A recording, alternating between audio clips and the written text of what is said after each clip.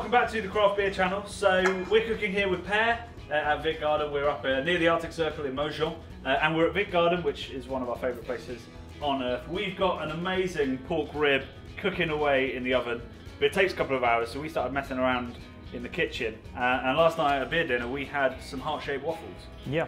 uh, and we well we love putting beer in anything. So we thought, well, we should make some beer waffles, and then Per has come up with the whole thing. What are we doing? It was kind of exciting because I've never tasted it before and I never tried it. So uh, uh, I used the beer batters for, for frying and stuff, but never in a in a in a waffle mix. But uh, let's try and taste it how it does. Waffle, waffles are a traditional thing, and they're Yeah, heart-shaped. it's a very very traditional thing in Norway. We eat it everywhere in uh, cafes, at home. It's it's like uh, everyday food, and uh, it's always heart shaped. We have this heart shaped uh, waffle iron. Uh, you asked me why it's like that. I never thought about it. It's like it's, it's just natural. It's just what the shape Yeah. the waffles come in. That's the shape the waffles come in. I feel like They're born that some way. clever marketer. yeah, maybe. Now don't they're all heart shaped. So what we do? So we've got saison. So we've got the we're backing with Bodin using a Bodin saison instead of milk. Yeah, we did. So it's uh, it's eggs, flour, and uh, saison, Yeah. and a bit and So quantities will be in the description box below. So Yeah. we've just whisked, whisked, we've whisked it up, yeah. uh, and we're just going to make a heart-shaped waffle. Yeah. Because that's what you do in Norway, right? Shall I? Shall I get the door for you, sir? Thank you. I'll get the.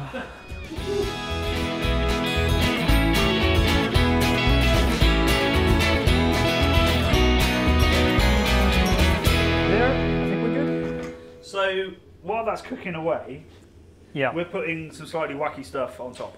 Yeah, we're we're doing a wacky uh, waffles. Wacky with, waffles, waf- that's what wacky stuff. Yeah. So uh, we have some fermented uh, char from Saterstad. Right, Uh, talk me through this. So this is fermented fish. Yeah, it's fermented fish. Uh, it's been put down in a small amount of salt and uh, just left to itself for some months to ferment. This is a. Right. kind of mild, but you could also use uh, just as good use uh, smoked salmon, Yep. uh, smoked mackerel. It would be just as good. Okay. And what else are we gonna? So we're topping it with that. What else is going on? Uh, we just have some sour cream, uh, sour cream, yeah, and some red onions. Uh, but we also boiled uh, eggs. They are just hard-boiled eggs, which we're gonna just split the egg whites and the yolks to make it appear more, uh, more uh, wacky, More- more wacky. And I'm gonna take out the the yellow plum.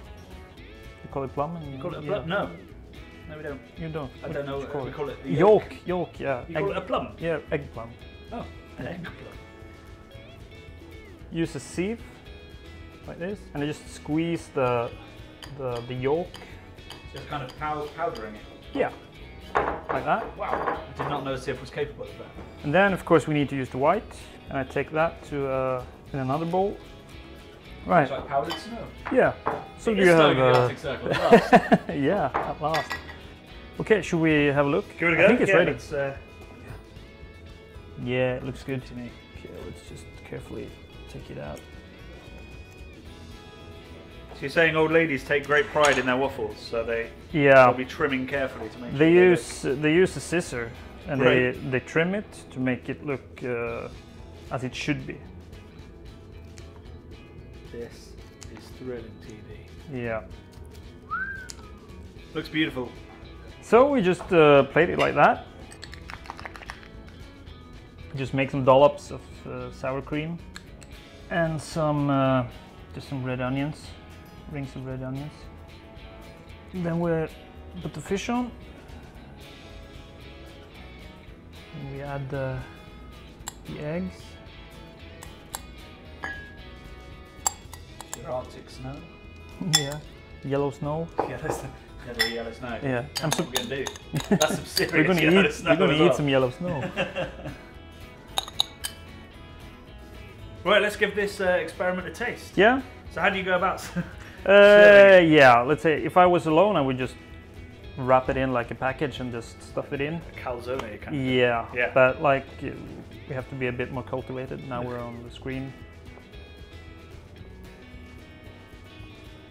Okay. Cheers.